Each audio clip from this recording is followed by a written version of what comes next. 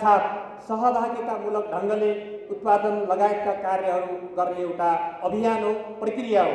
त्यस कारणले सहकारीलाई अर्थात् सहकार्य सहभागितामूलक ढङ्गले स्वपुँजी श्रम र स्वपहलमा गरिने गतिविधि भन्ने हामीले बुझ्नुपर्छ र बुझेका छौँ। अब सहकारीको आन्दोलनको अर्को नाम भनेको उत्पादन र वितरणमा पुँजीवादी जो मान्यता छ त्यसका विरुद्ध समन्वयित वितरणको एउटा अभियान पनि सहकारी हो। यसरी सहकारी अभियान स्वपहलमा हुने भएको हुनाले यो आफैमा स्वतन्त्र अभियान हो। दलाल संस्कृतिका विरुद्ध दलाल उत्पादन प्रवृत्तिका विरुद्ध यो स्वतन्त्र अभियान भएको हुनाले यसको आफ्नै गौरव र महत्त्व रहेको छ। अब म सहकारीको कुरा यति भनेर यस वर्षको बजेटमा यस वर्षको बजेटमा सहकारीको मन्त्र आत्मनिर्भर अर्थतन्त्र भनेर हामीले उल्लेख गरेका थियौँ। सहकारी मन्त्रीजी यहीँ हुनुहुन्छ। त्यो नाराका आधारमा सहकारीलाई महत्त्वका साथ अगाडि बढाएको कुरा कृषि क्षेत्रमा सहकारी सहकारी समूह र विभिन्न खालका किसानहरूका उत्पादन समूहहरू बनाएर त्यसलाई एउटा आत्मनिर्भर अर्थतन्त्रको विकास उत्पादन वृद्धि गर्ने रोजगार सृष्टि गर्ने कुरामा लैजानुपर्छ भन्ने कुरा हामीले उल्लेख गरेका थियौँ। अध्यक्ष कमरेड प्रचण्डकै निर्देशनमा कृषिलाई विशेष प्राथमिकता दिने सहकारीलाई विशेष प्राथमिकता दिने कुरालाई बजेटमा उल्लेख गरेको कुरा म यहाँ यहाँ सन्दर्भवश राख्न चाहन्छु। सङ्घ प्रदेश र स्थानीय तहको साझेदारीमा कार्यक्रमहरू गर्न भनेर दस अर्ब बजेट पनि छुट्याइएको थियो। दुर्भाग्यवश भनौँ हामी अब संयोग भनौँ दुईवटा निर्वाचनको कारणले त्यति बेला लागू हुन सकेन।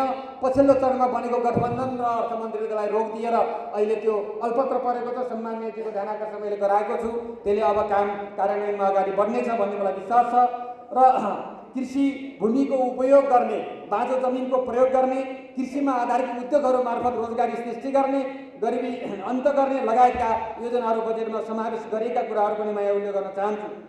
अब पछिल्लो हामीले म एउटा कुरा स्मरण के गर्न चाहन्छु आज भने मैले सामान्य प्रधानमन्त्री हाम्रो पार्टीको अध्यक्ष तत्कालीन हाम्रो अब सर्वोच्च कमान्डरलाई त्रिसठी सालमै मैले एउटा अनुरोध गरेको थिएँ हामीसित भएको यो सङ्गठनलाई उत्पादनमा लगाऊ। अब उत्पादनमा लगाऊ र उत्पादन मार्फत व्यवस्थित गर्नुपर्छ भनेर मैले भनेको थिएँ। विभिन्न समस्या विभिन्न कारणले त्यति बेला त हुन सकेन। हेटौँडा महाधिवेशनमा गाँदा अध्यक्ष कमरेडले त्यसको संश्लेषण मतलब गर्नुभयो माथिबाट र ब्रिगेडहरू बनाउने नीतिहरू बन्यो उत्पादन ब्रिगेड बनेर उत्साह आएको थियो। र त्यसपछि हामी आठौँ महाधिवेशनमा अहिले आइपुग्दा फेरि उत्पादनमा जोड दिएर आत्मनिर्भरता जोड दिएर नेपाली माटोको समाजवादको विचार संश्लेषण भएको छ। तर हामीले नीतिमा विचारमा त संशोधन गरेका छौँ। कार्यान्वयनमा गर्न नसकिरहेको अवस्थाले गर्दा आज हामी कमजोर भएको कुरा हो। त्यस कारणले ती नीति र विचारहरूलाई अब कार्यान्वयन गर्ने बेला आएको छ। यी सहकारी आन्दोलनहरू मार्फत हामीले कार्यान्वयन गरेर जानुपर्छ भन्ने कुरा पनि म राख्न चाहन्छु। अब स्था म त्रिसठीमा मैले मेरो सन्दर्भमा भन्न चाहन्छु। एउटा तपाईँहरूलाई काम पनि लाग्न सक्छ भनेर रुकुममा मैले उत्पादनमा लाग्नुपर्छ अब। अब विद्रोह काठमाडौँतिरकोले गर्छ यहाँ उत्पादन र विकास निर्माण र जनताको सेवामा लाग्नुपर्छ भनेको थिएँ। र त्यति बेलादेखि सुरु भएको कारणले आज पन्ध्र बिसवटा उद्योगहरू स्थानीय पालिकाहरूका रहेका छन् छवटा ठुलै उद्योगहरू छन् ती उद्योगहरू सञ्चालनमा आएको छ। र त्यहाँ अहिले पाँच हजार जस्तो कृषि सहकार्य समूहहरू छन्। ती समूहहरू मार्फत काम अगाडि बढेको कुरा मैले सन्दर्भसँग जानकारी गराएँ। आज पनि बजारीकरणको समस्या छ र किसानहरूलाई समयमा हामीले ऋण उपलब्ध गराउन नसक्ने समस्याहरू छ। त्यसलाई सम्बोधन गर्न लघु सरकारी लघुवित्त मार्फत सहुलियतपूर्ण ऋण दिने नीतिहरू पनि हामीले ल्याएका थियौँ। कार्यान्वयन हुन सकिरहेको छैन। यस बारेमा सम्मान्यजीको ध्यान गएको छ। अब कार्यान्वयन हुने कुरामा विश्वस्त छु यसरी नि अब अर्को कुरा यो यसलाई यत्रै थापी राखेर समयको अभावमा एउटा अर्को कुरा म यहाँ राख्न चाहन्छु। नेपालको विकास प्रक्रिया। आजसम्म चाहिँ विकास भएको छ हिजोदेखि विकास भएका स्थानीय तहमा भएका नहरहरू कुलोहरू त्यहाँका धर्मशालाहरू भवनहरू लगायतका चौताराहरूको कुरा निर्माणको कुरा नेपालको निर्माणको कुरा नेपाली समाजको बनोटको कुरा अध्यक्ष कमरेडले शासन गर्नुभएको छ। यो अन्तर्घुलित समाज हो भनेर। सहकारीमा आधारित समाज हो यो र विकास निर्माण पनि सहकारीमा आधारित थियो। तर अहिले पछिल्लो चरणमा आइपुग्दा जनसहभागिताबाट कटेको कारणले जनसहभागिता विकास निर्माणसँग नहुने भएको कारणले केवल ठेकदारी प्रथाभन्दा निर्भर हुने भएको कारणले समयमा सम्पन्न हुन सकिरहेको छैन। त्यस कारणले जनसहभागितालाई गरेर सहकार्यमा विकास निर्माणलाई पनि सँगसँगै अगाडि बढाउनु पर्ने नेपालको हाम्रो ऐतिहासिक एउटा शिक्षालाई पनि आत्मघात गरेर अगाडि बढ्नुपर्ने नीति निर्माणहरू गर्नुपर्छ। तसर्थ त्यसलाई कार्यान्वयन गर्न श्रम सहकारी श्रम सहकारी मार्फत उत्पादन र विकास निर्माण काममा पनि सहभागी हुने नीति पनि बनाएको कुरा पनि म स्पष्ट गर्न चाहन्छु।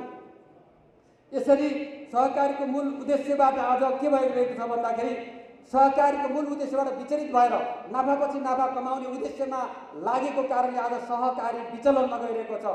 विशेष गरी यो के भन्छ वित्त सहकारीहरूले आज जुन खालको समस्या पैदा गरेको छ त्यो सहकारीका त्यो पुँजीलाई उत्पादनमा लगाउने पचास पर्सेन्ट कम्तीमा लगाउनु पर्ने नीति बनेको छ तर त्यो भइरहेको छैन। यी कुराहरूलाई कार्यान्वयन गर्न सक्दा र यो सहकारी आन्दोलनलाई अबको हाम्रो पार्टी सङ्गठनको सन्दर्भमा अन्तिम बुदा के भन्न चाहन्छु भने हाम्रो पार्टी सङ्गठन कुनै सेल कमिटी होइन। अब उत्पादनको सेल हुनुपर्छ त्यो। उत्पादनको सेल बनाउनुपर्छ। कुनै पालिका कमिटी होइन उत्पादनको पालिका स्तरको नेतृत्व गर्ने कमिटी हुनुपर्छ त्यो। अब त्यो सहकारीको रूपमा समूहको रूपमा उत्पादनसँग जोडिएको कमिटी हुनुपर्छ। पहिले माओवादीभित्रको बेरोजगारीलाई अन्त गरेर मात्रै हामी समग्र देशको बेरोजगारीको अन्त गर्ने नेतृत्व गर्न सक्छौँ माओवादीभित्रको बेरोजगारीको अन्त्य गर्न उत्पादनमा लाग्नु बाहेक अर्को विकल्प छैन सहकारी आन्दोलनलाई सशक्त बनाएर अगाडि जान्नुपर्छ धन्यवाद नमस्कार विभाग